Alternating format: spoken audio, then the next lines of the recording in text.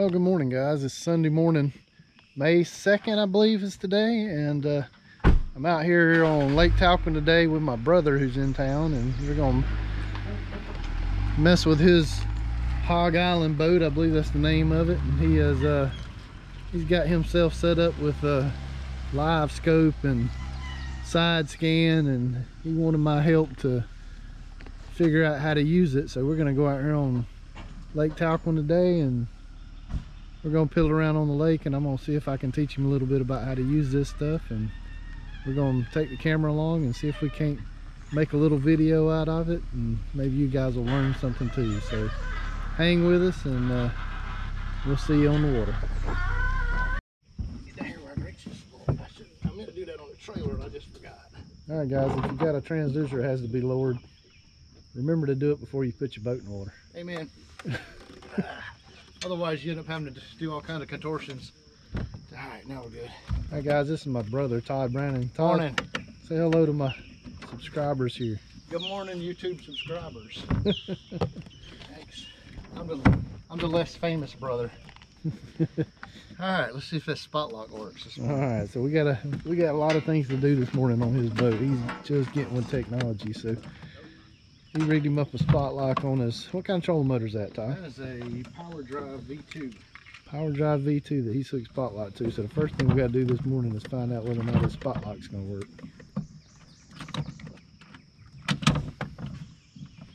All right, let's see what we got here.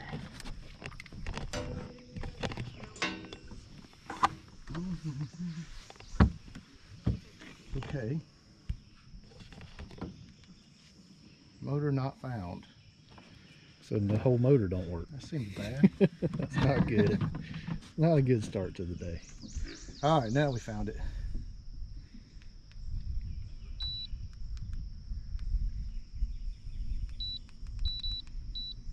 Feels like it's moving. That's a good thing. There you go. Okay, so we're good there. So we got propulsion. We got propulsion. So if your motor don't work, we can get back to the dock. Okay, so that's good. So at least we know my spot lock. Well, we know your trolling motor works. Head unit is talking to the motor at least. All right.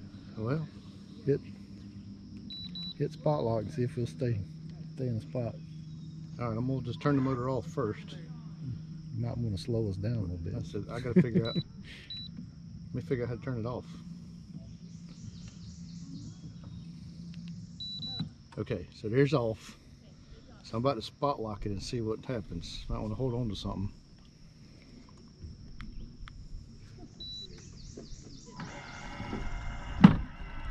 Okay.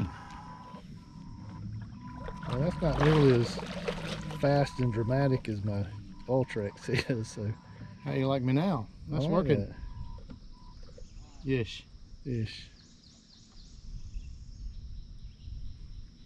All right. It looks like it's trying to do its thing.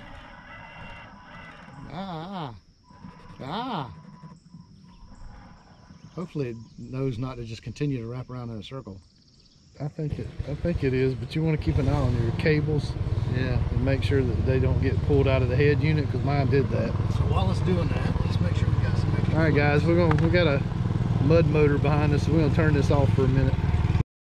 Right, guys, sorry about that. We had a mud boat up here and it was getting, getting kind of noisy. So now we're, we've confirmed that his spotlight works. And now we're going to test his GPS capability. So we're going to, we're going to ease up here to a stump and he's going to mark it with a waypoint.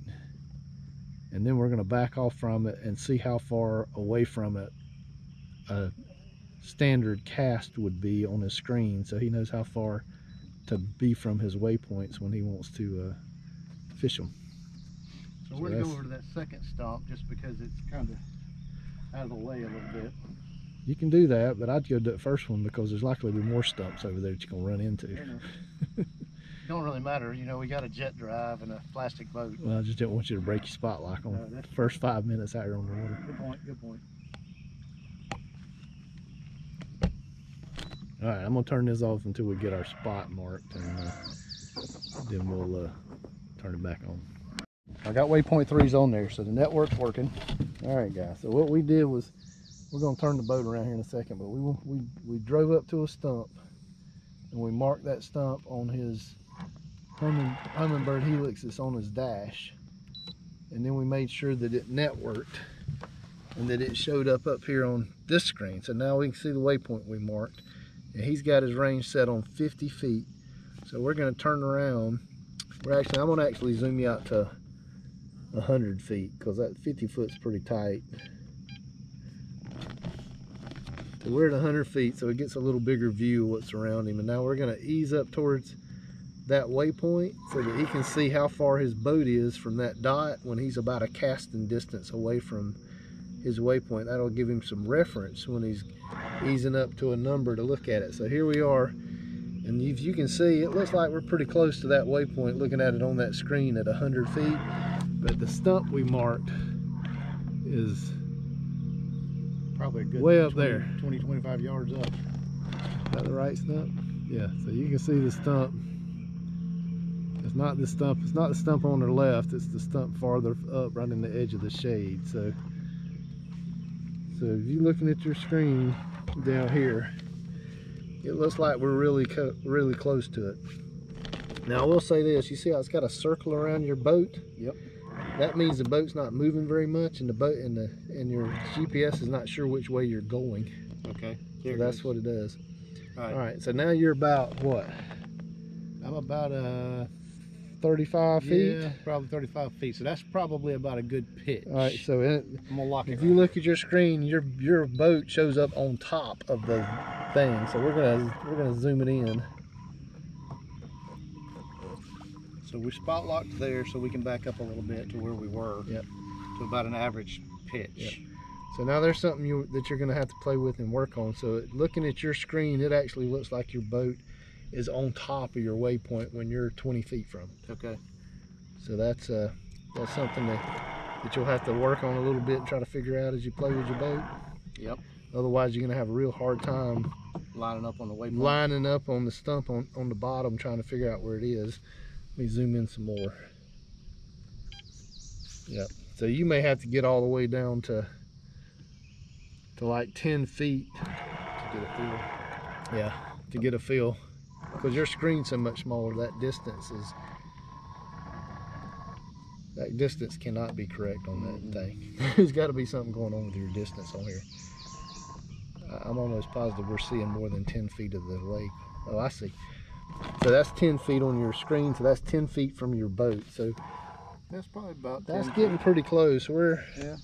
we're maybe I would say we're 15 or 16 feet away from that waypoint and that looks like about about right It's about right let's zoom in let's zoom out a little bit all right so now there's 20 foot so you can see about how far you are at 20 foot Yep. which is just a nice distance away so that's how close you're going to look like you are on your screen Yep. About a, about a. to be 20 foot. Yep. Now, if you get a heading indicator and hook it to this thing, you won't get that circle where your boat icon is because the um, GPS will be able to know which way your boat's oriented, so you'll have your boat icon on there. Yeah, that's a, that's the little white round Garmin things that you can buy. You have a little white round puck, the little puck. Yep. And you take your compass and move it around and make sure you mount it somewhere that's not getting a magnetic interference. Okay. That helps with that. Cool. All right. So we got that working. Okay. That works. Do you want to Turn the live scope on. Do you want to turn it on one time and set some settings on, or do you want to try to find a school of fish and then do it? Well, you tell me. I don't care. I'm easy. I would say you set it up now Okay. So let's. and make sure it All right. works. So I'm gonna get it out. This is my transducer. which I'm just going to hook to get it. Look, now, what kind of pole you got for So? I bought a. So what I did, since I didn't have a, anything to mount it to on the front of my boat, get it out from under. I bought this Fishing Specialties adjustable mount, and they come in all different with all different front mounts that you can. That are, some of them are custom designed for specific boats, and then they also make just kind of a standard flat mount. And this is just a, a little piece of UHMW board, and this is all adjustable for height and you can get longer arms. And for mine, it just, it literally drops in and then it's got a little set thing that just bends to hold it in place. And then you can turn it whichever direction you want to. That's pretty sweet. That's a nice looking setup. So it's, keeps it clean. Works on my boat since it just has a flat bow and it, you know, it'd work on probably most boats. Looks awesome. Well, let's let's turn this let's turn this All right. live scope on. Live scope's on, fixing to be on. All right, we have power. That's All right. good Yeah. start. And and what do you get your live scope hooked to? Uh, as far as batteries, Batteries. so if I'm running a Group 27 battery in here, uh, which is powering this front Humminbird. It powers a live scope and it powers a trolling motor. Okay, Um, guys. That ain't So- gonna work long term, I know. So my brother didn't take my advice in my video when I told him to get a separate battery. So you got a paddle in here? So the the mo- the actual motor is actually on a separate battery. Okay. So All right. so Um, we can't get back to the boat so- ramp because we're gonna kill this trolling motor So when we- battery with this so when we kill this battery, we can still get home. All right. All right. So we need to set this thing up because let's it's just- never been. So let's just yeah, let's set it up. Get you go through your English and All right. Or whatever it is. All right, there you go. All right. So that's- now we're to the main screen, I guess. All right, so let's let's play with your Panoptix. So that's what you're here for. So hit hit Panoptix on there. Okay. Oh, There you are. And look at there. So that's that is default right out of the factory. First time it's been on, and that's you know look around with. it. That's really not a very bad picture. Look at there. There's a fish right there. Go back the other way. Now if you notice, you're gonna you're gonna want to turn your the slower you turn your handle, the better the better you're gonna be able to see fish and stuff. But you know you got to use it. Look there. There's a fish swimming under the boat right there. Yep. And we just sitting here at the boat ramp. So that's not a bad picture. So let's set some of the standard defaults. Okay. So we're gonna go into your, you, you do it. All right. So you go into your menu. Uh, menus down here. Yep, go to sonar setup. Uh, sonar setup. Yep. Let's go to TVG is off. That's good. Okay. Noise reject. Go to noise reject. I Right would, here? Yeah, I'd start that on high.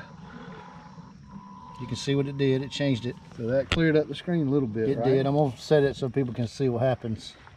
Medium, it gets a little more fuzzy, but a little looks like you could actually get a little more. And then noise reject. If you turn it way down, you get a lot. Yep. So So I'm gonna put it on high. I don't know that clears your picture up a Okay. little bit. Back. So that's all. That's really that's all we need to do on the screen. Look. So you can. I want something. Yeah, it's got some fish swimming around in Yeah. the boat. And there's a school of shad right there. Check them out. school of shad. That's pretty cool. At the boat ramp. All right, so let's let's, Back. let's clear that menu. Let's see what we got. All right. Back. So our gain, our depth is on auto. Forward range is on auto. Do we want to set those? Okay, so what I do is I like to run my gain around 60 to 64. So why don't we go to manual gain, which is that's what the auto's got it on anyway. So they're really doing a pretty good job with the auto. But you can set it yourself or you can use the auto. Most people like to be able to change it up and down while you're actually fishing. So they kind of take it off auto and do it. 62. Yep, 62 is good. So I'm gonna leave it on 62. Yeah, so that'll work for now, just to get you started. Okay. So now we got now we got a pretty good picture. You can see that big old school of fish in front of us swimming down at the bottom. We got a pretty good picture. Now you got a lot of interference here, and a lot of times what you can do is if, if you can play with your gain a little bit, we'll turn it down, see how that goes away. Mhm. Now you got a now you see mostly the fish and not all that Okay. clutter. So that that can be changed as you know as with the different water water clarities and whatever you're coming Okay. whatever you're coming across. Now the color gain is going to show how bright these fish are. These dots. When you turn up that color gain, that'll get that'll get brighter and like more intense. And a lot of times, if you if you want to use that color gain, you can use that to help your jig show up better. Okay. And I I run mine on default because it seems to do a pretty good job on default. And I'm you know I'm busy trying to catch fish, and I just don't want to constantly be playing with my my screen. But if you need to do that, um, you can do that Okay. to help it out. But there you go, right off the bat, you got a Auto range, do you just leave? Is the range is the distance here? Yep. Now the range, I like to run mine about 30.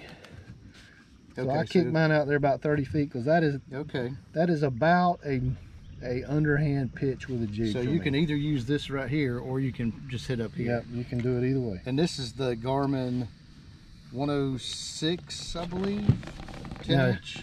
yours is not showing the depth up and up and down so on this side yeah so I'm not sure what's going on there we may have to we may have to figure out how to how to do that on yours because normally it has a little depth up up and down that's not side. what this over here is one two three four five six that is showing you the depth but I'm talking about a, a way to quickly adjust it. Oh I got you. So see you know we're in five six feet of water. Yeah so if we're in 20 foot of water we need to so it's oh, we need to we need to be able to adjust that depth range. Still didn't show range gain what's we we're not we're not seeing the edit overlays maybe? None. Bottom bar none. Nope.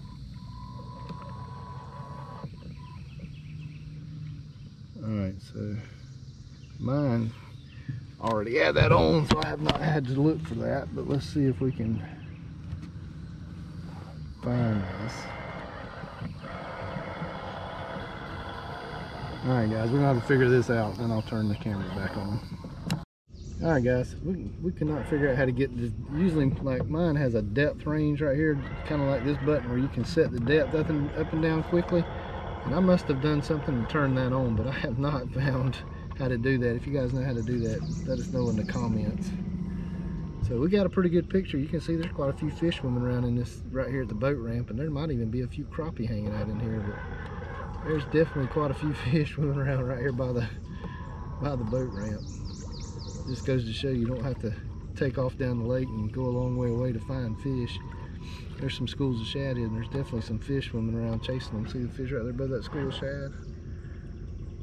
All right, so we're gonna do, now what we're gonna do is we're gonna put all this in the boat and we're gonna get out here on, we're gonna look at his Helix 10 on the dash and we're gonna idle around out here and see if we can teach him how to find fish and crappie on this helix and get his side scan settings set up. And uh, you know guys if any of you guys are interested in uh, going out with me and learning how to use your electronics and at some point I'm gonna post up a, a, way to contact me and I'm gonna start doing that a little bit on the side and uh, uh for a fee so uh, that may be something I offer to you guys in the future if you are interested in doing that so we're gonna put this off and we're gonna get situated at the console and go start looking for some fish.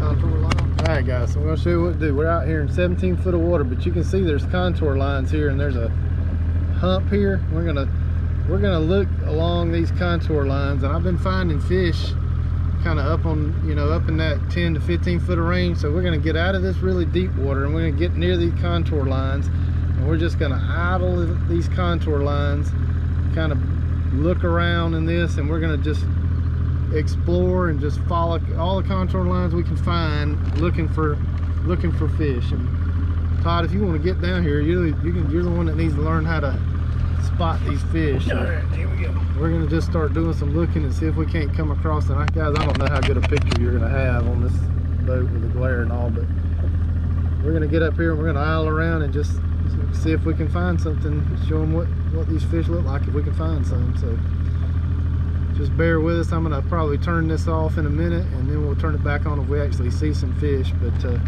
but that's what we're doing. We're just we're just on the lake and we're just following contour lines and trying to be in the depth of water that uh, you know that we the fish should be in this time of year. And sometimes it just takes a takes a while of looking to to find some and that's what we're gonna do. So if you'll just kind of follow the edge of this you know and about that 10 to 12 foot of water we're at 13 foot right now we'll uh, we'll do a little looking around and we'll see if we can find some. If we can find some we'll go back and forth across them a couple times and show you guys what they what they look like all right guys so we we went by a tree here. I don't know if you can see it, but there's a tree showing up in his water column right here. It looks like there might be some fish sitting right underneath that tree. So we're gonna make a circle here.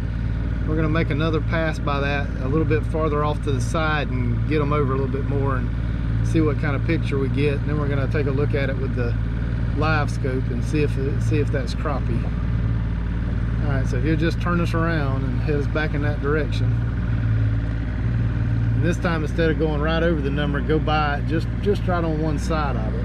Put them out here a little bit farther on the screen Okay. and we'll see what kind of picture you get. You, you know, obviously you can see them in your water column, so you already got one way of spotting them when they're Yeah. suspended up off the bottom.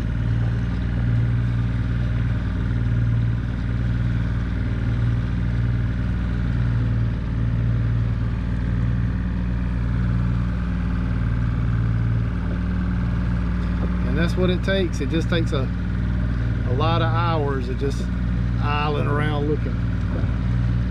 Got to get your idle games straightened out. Yeah, One of- one of boat, these- boat, boat control is important. One of the issues we found this morning already is this extended tiller is not good for two guys sitting back here trying to do this. I'm having to hold the tiller up. Well, if it was just you, it wouldn't be so Yeah. bad. So that's a good thing to learn when you're setting your boat up. All right, so that should be the tree right here on our left. All right. So we don't have as good a picture going this at this angle as we did, but if you can see right here, there's actually a couple little shadows right there. And what you can do, Todd, is in the future, if you find some something that looks like it's got some fish on it, Mm-hmm. you can keep going by that and messing with your with your settings for this and see if you can make those actually show up a little better for your unit all right so let's turn around to the boat facing into the wind which i think is coming from behind us and then we'll put our live scope down and we'll ease up on this tree with that live scope and we'll see if that's uh if there's fish there and Sounds good. what they look like. Maybe we'll catch a few of them. All right, guys, hang with us. Guys, so we have stopped. and Now we've got our live scope down and our trolling motor down. We're gonna move up here to the bow. I know you guys probably can't see the screen. So the first thing you want to do, Todd, is you want to set your depth on here so that the bottom's showing up. So go to menu, mm, That's out. You're right. So menu. menu, yep, depth range. Scroll down a little bit. Make it a little bit more. Whoop, whoop, whoop. Go back up. Right about there. Alright, so now we can see the bottom on the screen. I'm sorry if you guys can't see that because we got a bad glare in the middle of the day out here doing this. Alright, so let's, you got your waypoint spotted on you. We got them. Humminbird, so you're gonna slowly ease us up there to it while you look for it. Here, change sides with me so you can Okay. look at your. Well, you're not gonna be able to see your waypoint. Yeah, are you? Cam. I see it. Okay? So we're gonna ease up there towards those waypoints, and we're gonna look for that tree on that live scope.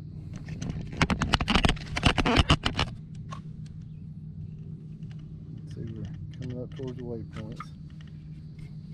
So you want to go slow because your boat's gonna have momentum, and so it'll, it'll keep going, and you'll run them over.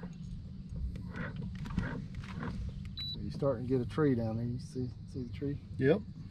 So there's some fish suspended on that tree. So you can you're running them over. You're 20 feet from them. There you go. There's your fish right there. So now you're they're off the the right side of the boat. Mm-hmm. So you could spot like right here. We're a little close, but that's okay. We're learning. So we'll spot right there, and you guys, you can see it. There's a couple of fish on this tree right here. So now that you got yourself spot locked, yep, you were spot locked. Making sure I'm locked. Okay, I got the anchor down. All right, now get your fishing rod and we'll see if you can get you a cast or two on that and see if that see if that is crappie if you can get any attention from him. Guys, I don't know about this calamity. but He, he managed to hook something out of this tree. First fish on the live. We'll see what it is. Let's see what he's got. I, I'm not convinced this is a crappie. If it we- I'm mounting this I think you found him a school of catfish, but yeah, there's no way that's a crappie. No, that's not a crappie. if he is, then. Well, at least you got your first fish on the live. That's scope. right. So the Hog Island with the live scope and the jet actually worked, y'all. there he is down there. You can see him swimming around down there on the live scope. I'll run him back in front of this live scope. Let's see, where's he at? There he is down there. There he, oh yeah, there ain't no way. That's, that's a big old fish. That's a catfish. That's a catfish, I'm sure. You gonna slime me Oh, up? yeah, oh yeah, real nice channel catfish. Look at that, y'all. There you go. How about that? We actually got a fish on video today. Look at that. That's awesome. Live scopes are not just for, they're not just for uh, crappie. They work for catfish too. How about that? nice size channel catfish. Anybody want some catfish for dinner? All right, guys. So we idled down the lake. We found something that looked like fish, and he got on his live scope, and he's got his first nice crappie. size crappie. First, Let's live, see that thing. first live scope crappie in the Hog Island. Look at there. All right. Well, one of my hand, hand-tied jigs that he caught him Ain't on. like that. It works, y'all. Success. How about that? Live scoping works for crappie. on the first cast. All right. Sadly, Good, put him good put him man. back where where to go. Good man. Everybody watching appreciates the fact that you put him back in there so they can catch him. Somebody else come out here and catch that fish. There's a whole right. bunch more down there too. So All right. Well, we're going.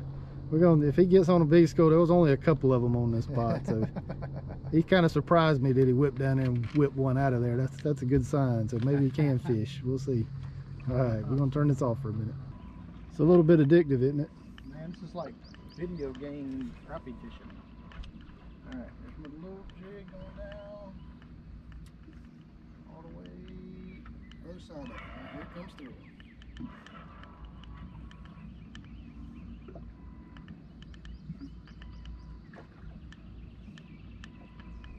There you go. Oh, we got him. He got one. Boom.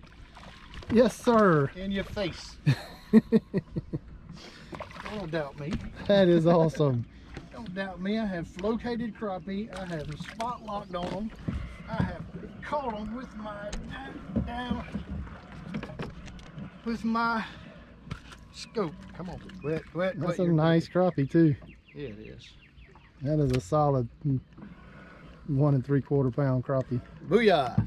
There you go. They like the dark fishing with on, a, on one of his hand tied rigs. There you go. That is awesome. that? And going back to the school. I feel like I am successful now. All back right. to the school for all you other Florida guys to come over here and catch them. All right, we got to get him back to Atlanta. So we're All right, going to end this video here. And guys, we appreciate it. These fish were uh, doing the post spawn thing. The spawn is uh, winding down. It looks like uh, these fish are moving back out towards the mouth of the creek and out on the main lake flats. And uh, we found these fish in about, what, 12, 13 foot of water? They're in a 12 8. Now, hold on now. You going to let me catch one before we go? You to let me catch a single Yeah, crappie? you got them. They're on the live scope here. All right, so we're gonna we're gonna we're gonna end it here, guys. He's gonna let me catch one fish. and One then we're fish, gonna and call then it we got and I got a roll. All right, we'll see you later. Y'all have a guys. great weekend. See you guys.